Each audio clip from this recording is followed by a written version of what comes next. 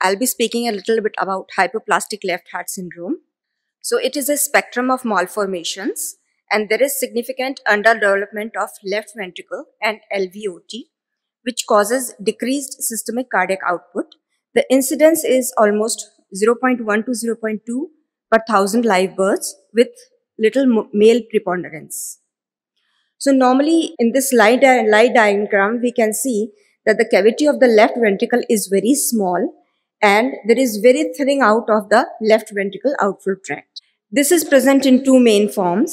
In one form, there is atresia of both mitral and aortic valve with practically no communication between uh, left atrium and left ventricle and nearly absent or severe hypoplastic left ventricle. In the second form, there is visible left ventricle which has hyperechoic walls. It is globular in shape and shows poor contractility in association with severe stenosis or atresia of aortic valve. It is a sequelae of critical aortic stenosis. So in ultrasound, what we see in the four chamber, in the first form, we'll see small hypokinetic left ventricle, which shows decreased contraction, and this is better appreciated on M mode. Typically, the apex is formed by the right ventricle, which is a very important point of this disease. There is minimal or no flow through mitral valve. LA is small in size and flap of foramen ovale, we will see it showing to and fro movement between left atrium and right atrium.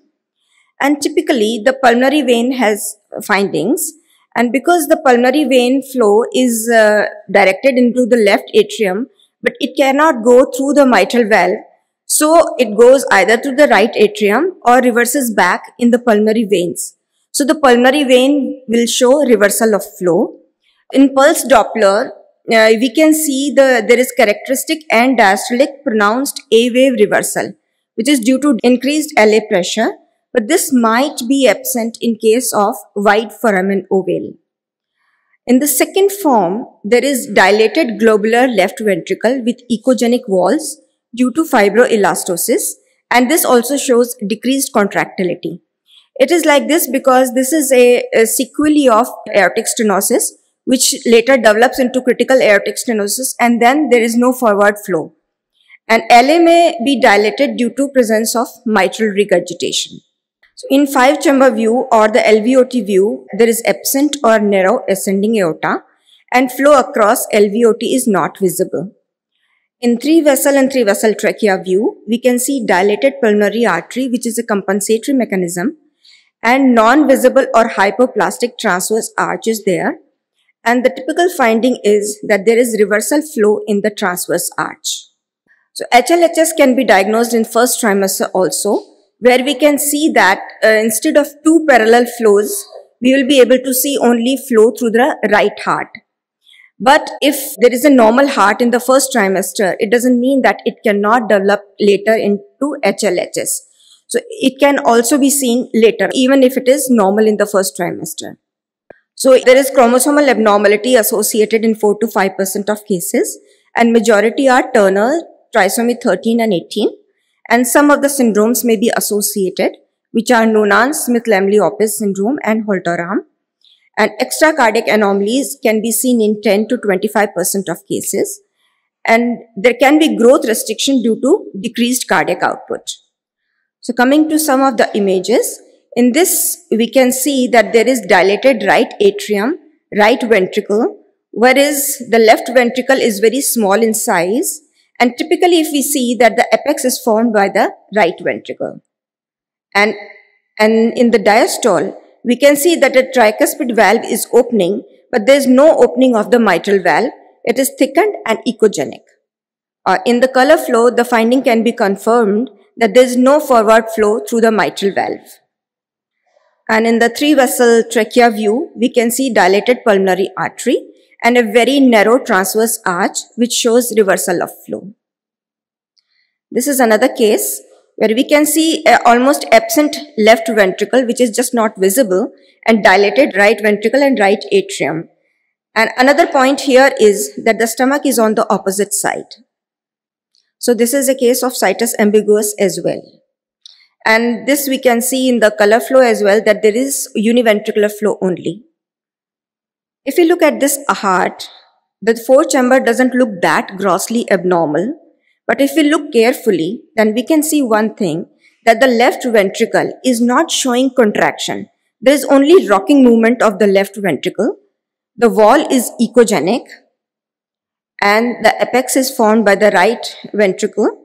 And if we look at the tricuspid valve, there is good movement of the tricuspid valve which is visible, but hardly any movement in the mitral valve. And the finding can be confirmed in the uh, color flow where we can see good flow in the right heart, but no forward flow through the mitral valve and we can see a small regurgitant jet through the mitral valve. And in the TUI, we can see all the findings together where there is forward flow in the right ventricle and reversal in the transverse arch. So this was a case of a second form.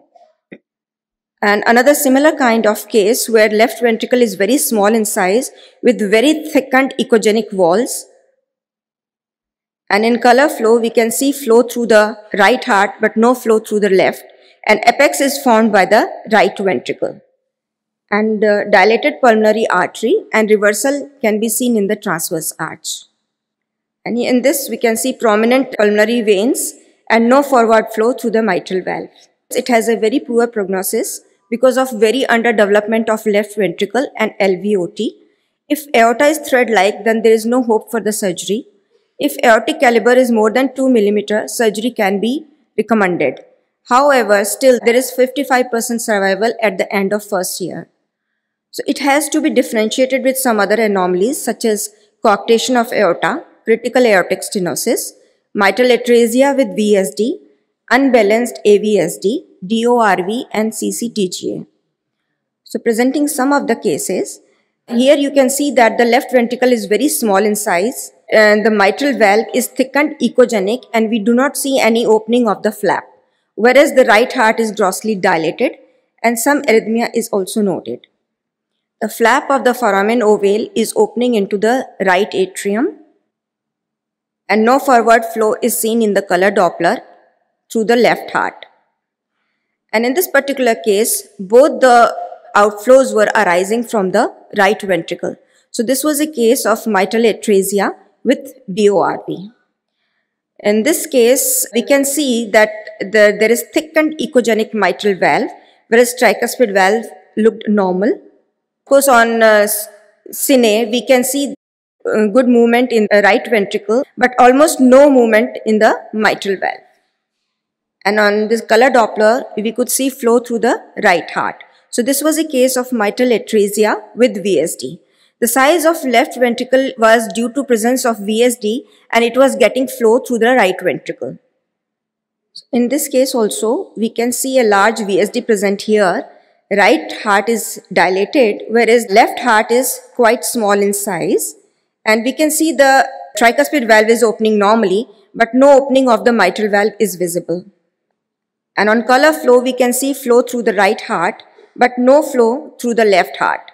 And here also the left ventricle is getting uh, flow from the right ventricle through VSD.